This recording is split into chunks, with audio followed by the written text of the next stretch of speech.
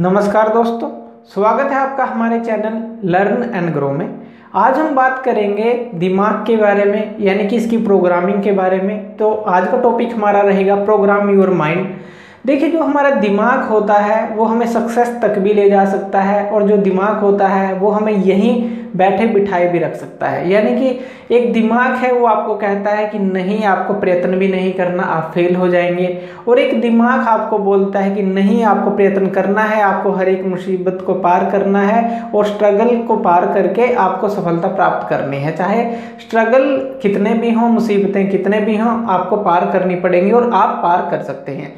देखिए, दोनों ही विचार जो हैं आपके दिमाग के हैं। कोई एक एक्स्ट्रा विचार नहीं है कि किसी ने आपके दिमाग में डाला है। ये आपके विचार हैं दोनों ही कि मैं सफल हो सकता हूँ या फिर मैं सफल नहीं हो सकता। मैं ये कर सकता हूँ या मैं ये नहीं कर सकता। देखिए, सबसे पहले तो हमें अपने दिमाग के अंदर से कुछ ऐसी चीज़ें हटानी होंगी, ऐसी डिस्ट्रैक्शन हटानी होंगी जो हमें हमारे गोल तक पहुँचने से रोकती हैं। तो हम कहते हैं ना कि बड़ा गोल सेट करो, लेकिन बड़ा गोल सेट करने से पहले हमें ये भी तो पता होना चाहिए कि उस रास्ते में मुसीबतें कितनी आ सकती हैं और मुसीबतें आएँगी ही, ये भी हमें पता होना चाहिए। हम ऐसा नहीं सोच सकते कि मुसीबतें आएँगी ही नहीं या फेलियर आएँगे ही नहीं। तो इस तरह से हम अपने दिमाग को ट्रेन नहीं कर सकते। हमेशा आपका दिमाग जो है, वो आसान चीज़ें आपको करने के लिए कहता है। अगर आप कुछ काम कर रहे हैं तो आपका दिमाग उनसे, उस काम से आपको भटकाने की कोशिश करता है। मान लीजिए, एक छोटा सा एग्ज़ाम्पल ले लीजिए। आप सुबह उठ के मेडिटेट करना स्टार्ट कर दीजिए। आपका दिमाग आपको कहेगा कि इसका कोई फ़ायदा नहीं है। एक दिन से कुछ नहीं होगा, दो दिन से कुछ नहीं होगा। इसके लिए तो सालों लग जाते हैं। तो इस तरह के विचार आपके दिमाग में पैदा होते रहते हैं, जो कि आपको उस मेडिटेशन की स्टेट से उठाने की कोशिश करते हैं। दिमाग आपका ही है, आपके लिए लेकिन वो काम नहीं कर रहा। तो आपको दिमाग को अपने प्रोग्राम करना होगा ताकि ये आपके लिए काम कर सके। आप जानते हैं, अगर नहीं जानते तो हम आपको बता देते हैं, हम दो तरह के दिमाग की बात करते हैं। एक तो होता है कॉन्शियस माइंड जिसको हम चेतन मन बोलते हैं। एक होता है सबकॉन्शियस माइंड जिसको हम अवचेतन मन बोलते हैं। कॉन्शियस माइंड होता है जैसे हम जाग रहे हैं, जागृत अवस्था में जो हमारा दिमाग काम करता है, जो हम सोचते हैं। और सबकॉन्शियस माइंड जो है, ये 90 परसेंट जो हिस्सा होता है, जो हमारा ताकतवर दिमाग का हिस्सा है, अगर इस तक कोई बात पहुँच जाए तो ये उसको पूरा करने के लिए आपकी हेल्प करता है।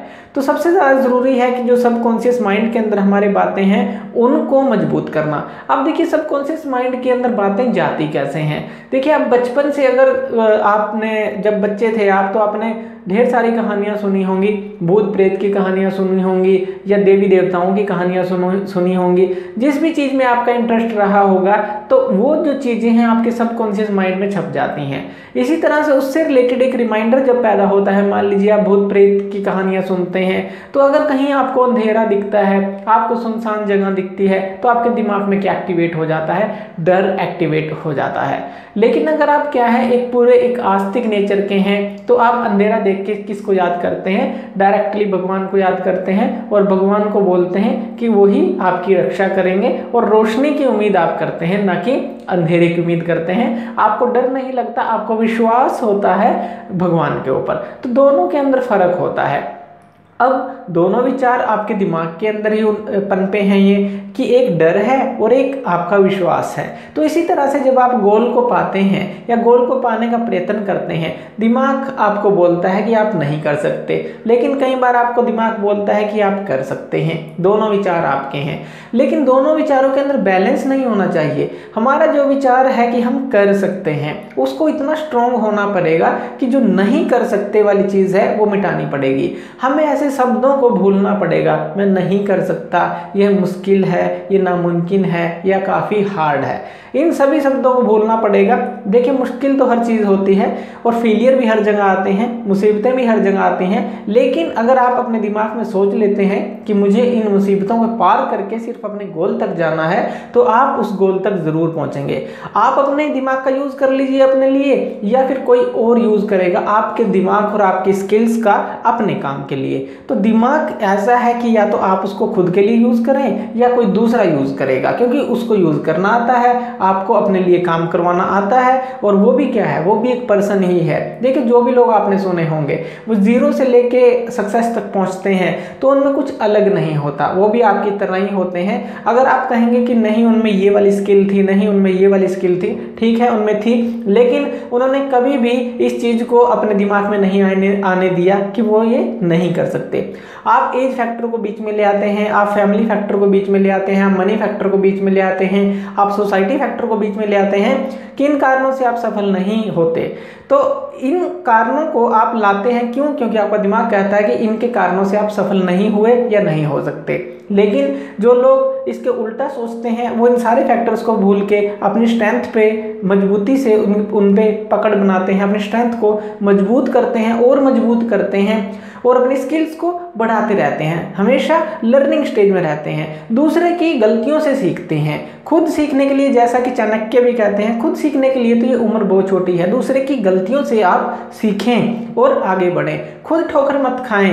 दूसरे ने अगर ठोकर खा चुका है तो उससे सीखें। ऐसा नहीं है कि उसी पत्थर से आप भी ठोकर खाएँ। आप उनसे सीख के चलें। तो प्रोग्राम करने का क्या मतलब है? बचपन से बड़ा होने तक जो लोग आपके अंदर डालते हैं कि आप ये नहीं कर सकते, ये काम मुश्किल है, ये कोई कोई कर सकता है, आपके अंदर वो कैपेबिलिटी नहीं है, आप ये नहीं कर सकते, उन सारी चीज़ों को हटाना होगा। नए विचारों का बीज हमें दिमाग में बोना होगा। क्यों? क्योंकि अगर पुरानी जो चीज़ है, जब तक आप उसको नहीं हटाएँगे तो नया बीज भी वहाँ जन्म नहीं लेगा। तो पुरानी चीज़ें आपको हटानी होंगी और नया बीज इस दिमाग में डालना होगा कि आप कर सकते हैं। और आप करके रहेंगे। इस तरह के बीज आपको डालने होंगे। सक्सेस का बीज आपको बोना होगा। उसके लिए एक्शन लेने होंगे। अच्छी आदतें आप, आपकी अपने आप बनने स्टार्ट हो जाएँगी। जब आप नए विचार और नई विचारधारा के साथ रोज सुबह उठेंगे और उस एक्शन प्लान पर काम करेंगे। तो इस तरह से जब आप सीखने की एक ललक आपके अंदर पैदा हो जाएगी या कुछ करने की ललक आपके अंदर पैदा हो जाएगी तो आप सक्सेस के बहुत करीब चले जाते हैं। जो मुसीबतें हैं वो आती हैं, लेकिन वो इतनी बड़ी नहीं होती कि आप उनको ओवरकम नहीं कर सकते।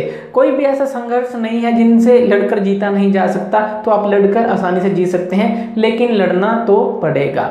अगर आप सोचते हैं कि मैं यहाँ बैठे बिठाए, यहीं पे मुझे सफलता आके मिले तो ऐसा बिल्कुल भी नहीं होगा। जहाँ आप हैं, आप वहीं पर रह जाएँगे। दिमाग का यूज़ करना आप अपने लिए सीख जाइए। नहीं तो हमने कहा वही कि जो दूसरे लोग हैं, आपके दिमाग का यूज़ आपके ही खिलाफ करेंगे। तो आपका जो तरक्की में अपना हाथ है, अपने दिमाग का हाथ है तो उसका पूरा यूज़ कीजिए। तो थैंक यू वीडियो देखने के लिए। और ज़्यादा वीडियोज़ के लिए आप हमारे चैनल लर्न एंड ग्रो पे हमें सब्सक्राइब कर सकते हैं। Thank you